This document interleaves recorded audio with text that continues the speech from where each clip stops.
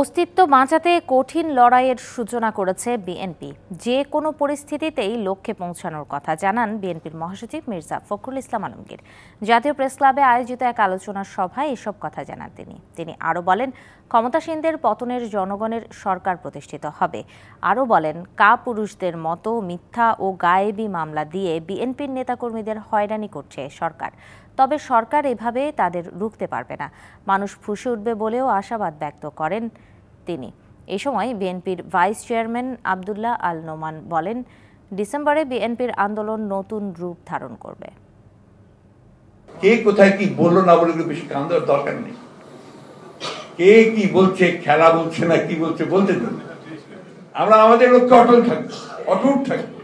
আমরা এই এইবার আমাদেরকে এই বিজয় অর্জন করতে হবে। এর কোনো বিকল্প নেই।